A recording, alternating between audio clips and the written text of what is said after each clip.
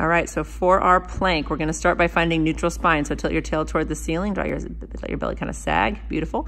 And then tuck your tail down, so you're rounding all the way. Good, and then arch all the way again. And then from here, just neutral, flatten out, lower back nice and flat, neck is neutral. Then go ahead and walk your hands forward, bring your elbows down to the ground. You're gonna find your forearms parallel to each other, palms are flat, fingers nice and wide, tuck your tail the toes will tuck under, legs will straighten out. We're gonna kind of keep the sense of that belt buckle drawing up toward the belly button. From here, you're gonna gently pull your elbows toward your toes to turn on the whole front side, all those stability muscles in the front side of the body working hard here. After a couple of breaths, maybe 10 seconds, you can press the elbows away. Staying in plank, but sort of more of a restful plank, then come back to that more active plank, elbows tugging toward the toes. Hold for 10 and push away. You could work toward holding for 10 seconds at a time, back and forth for maybe three sets like that.